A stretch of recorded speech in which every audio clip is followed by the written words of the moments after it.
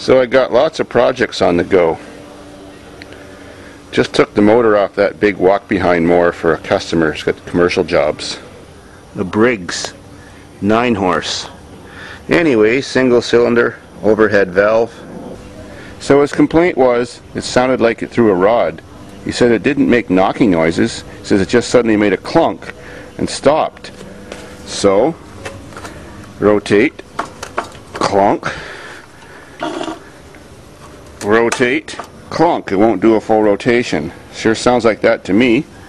I've already checked the sides of the crankcase on both sides. It's not cracked or blown out, so we have potential to repair this motor. Of course, first thing I did was remove the spark plug and just check it wasn't hydrolocked with gas or oil. Hope you check that first always. So now just remove the perimeter bolts, pop the cover off, and let's see what's happening.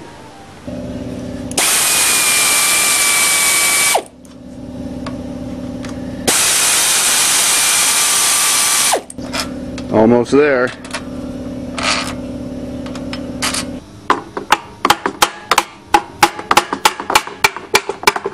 Oh, loose enough.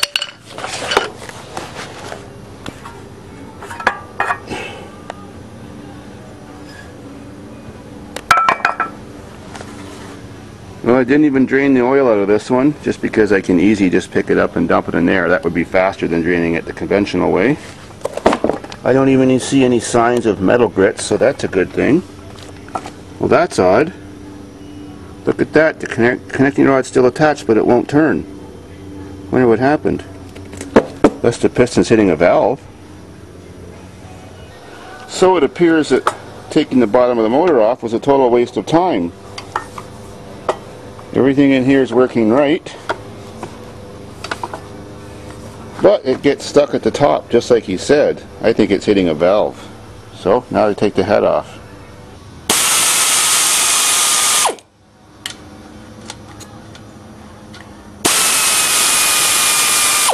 Well, first thing wrong. Way too much play on this rocker arm.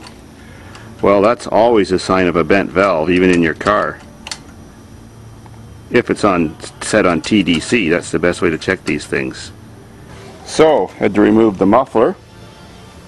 Now to get the head bolts off. I'm almost thinking this motor sucked in some nut or bolt or something. I remember in the winter time he converted this thing to be electric start. Put a battery on it and he had to buy a different flywheel that had the teeth on the side.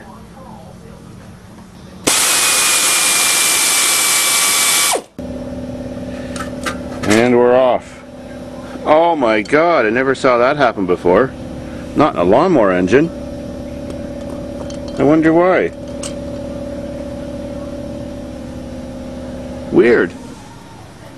It snapped the valve off. Totally strange. Well, simple enough to fix. It stopped the motor so quickly it only hit it once and that was it. Didn't even hardly damage the piston. That doesn't mean nothing. Hmm. Let's check the side of the cylinder.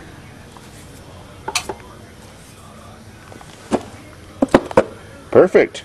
Oh well. Gotta buy one valve. Hmm. well, more bad news. That piece of the post of the valve hit the head right there and put a big indentation and indented it so much it squished in the steel valve seat so it's all warped that way. So even though the valve may not be bent it's sticking out and not closing because the seat is sticking in and hitting it so far. So the head's no good. This guy needs some head. I'll just have to get some for him.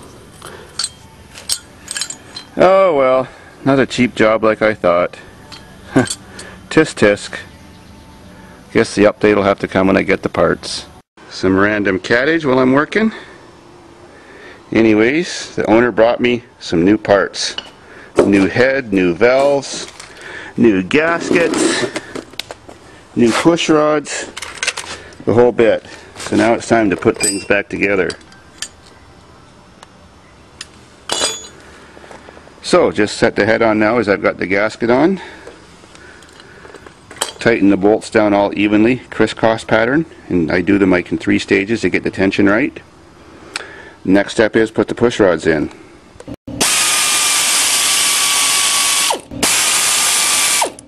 Head is tightened, push rods are in. Now just set these on top.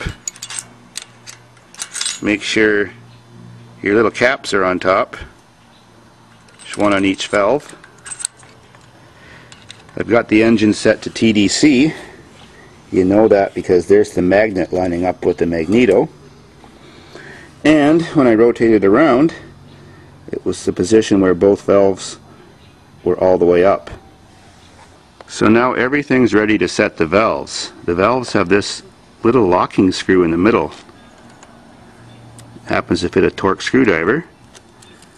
So I want to set them, I don't even know what the specs are for this engine, but 10 thousandths of an inch gap is pretty standard for a lot of engines. Definitely your engine will run without a problem like that. So I have to figure out exactly where to set this tension nut because it just moves around loosely and then when I get it in the right spot to have the right play then I tighten the set screw down and it'll lock the screw so it can't unscrew itself. That's very important to lock the screw, lock this nut down or this little threaded shaft down because if it starts loosening everything will come apart.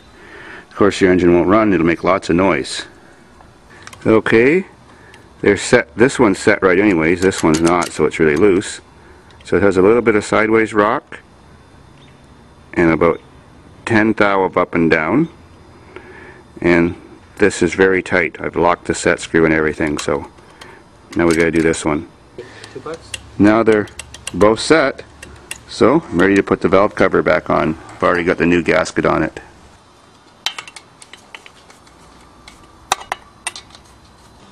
Spark plugs in. Now tighten the exhaust manifold. Covers all tightened down evenly. All done now. Just the final pulley. I always prefer to put those things on with an air tool so they don't loosen. The bolt will fall out and you wouldn't even know it. You'd keep using it for a while. Well, then your pulley would drop off, then you would know it, but you wouldn't know where you left your bolt. Now to drop her back on, while carefully putting the belts around the pulleys at the same time. Never forget to add the oil at the end. All set, let's see if she starts.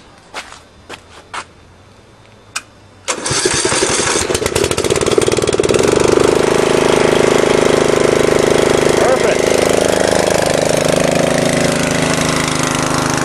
First try, gotta like it.